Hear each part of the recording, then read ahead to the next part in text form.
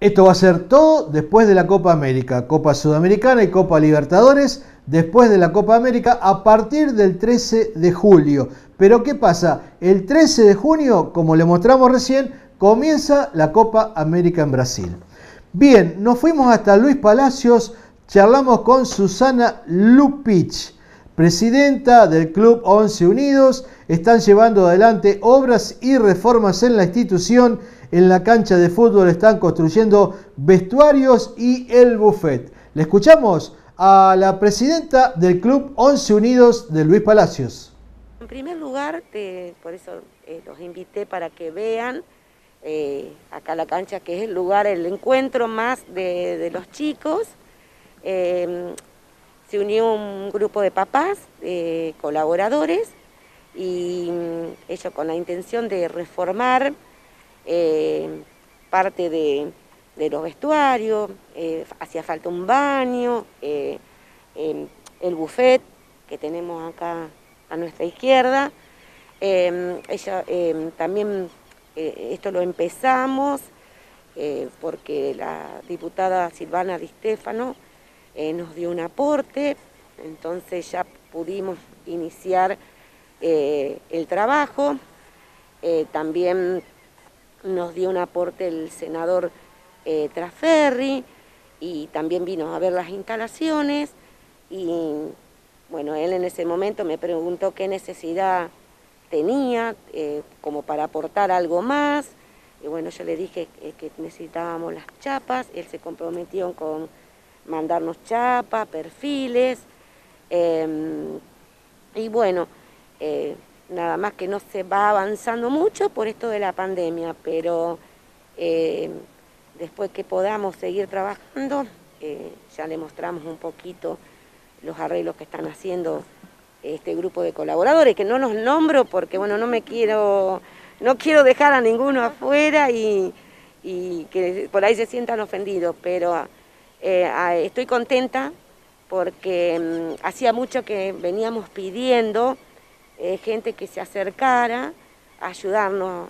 con esta parte y bueno, eh, ahora estos chicos, bienvenidos sean, y están aportando mucho. Bien. Eh, las reformas las están haciendo, nosotros acá estamos ubicados en lo que es la cancha de fútbol, la cancha más grande, ¿solamente están haciendo arreglos acá o en el otro espacio que está ubicado en el pueblo también están haciendo? En la sede se hizo el techo, mm, de una parte del techo, que eso fue em, plata que nos mandó el senador. Eh, y también ahora eh, tenemos otro proyecto que por medio de él, la continuación del techo, que es eh, parte de una oficina, y arreglo del, piso, eso también va a ser un aporte por el, por el senador. Después lo que se estuvo haciendo en la cancha de la sede, fue remover la tierra de la cancha, levantarla, eh, bueno, se acomodó y eso fue todo aporte de la comuna. Eh, ya te digo, en movimientos de, de máquinas y el relleno eh, de tierra, todo por parte de la comuna, que te agradezco esa parte porque necesitaba, se acumulaba mucha agua y ahora quedó perfecta. En cuanto a la obra bueno, que están realizando acá, eh, ¿en qué situación está? Porque bueno, sabemos que hay restricciones, que hay muchas cuestiones suspendidas por las cuales no se puede avanzar, pero bueno, ¿cuál es eh, la idea más o menos que tienen ustedes para, la fecha, digamos, que esté esto finalizado? Y mm, finalizado, va, eh, yo pienso que para fin de año esto tiene que estar finalizado.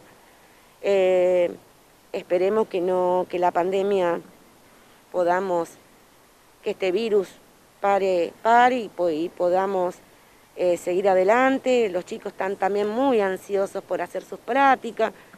Nosotros empezamos en, marzo, eh, con, tuvimos tres torneos, que hicimos dos de locales, y salimos afuera con, a jugar, pero bueno, ya en abril volvimos para atrás y, tenemos, gracias a Dios, ayudas económicas. También no quiero dejar de lado, eh, se nos había hundido el pozo del agua, que ahora eh, lo hicimos. Eh, eso fue un aporte de la empresa DAT, que es del pueblo, la empresa la mutual del pueblo, que nos ayudó con esa parte.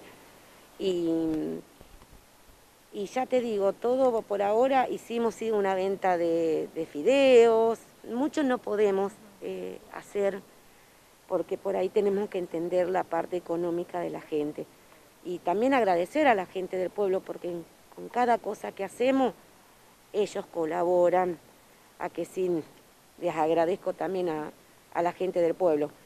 Y, y, bueno, vamos avanzando día a día, no son pasos como agigantados como en otras oportunidades, estamos muy limitados. Em, también lo que hicimos este año fue inscribir al club, al Registro Nacional de Clubes, que eso es muy importante para nosotros porque hay subsidios que van a venir, que, gestionar y a nosotros nos va a venir muy bien. También tenemos el CUI. Eh, también eh, no quiero dejar de lado, este, tuvimos un aporte de, de cinco o seis chapas que nos mandó el Horacio Ciancio, que es eh, presidente de San Jerónimo, él también nos mandó. Em, vamos pidiendo y bueno, y van, van respondiendo. Él fue del pueblo y bueno, de alguna manera quiso colaborar con esto, a, aportar un poquito su granito de arena.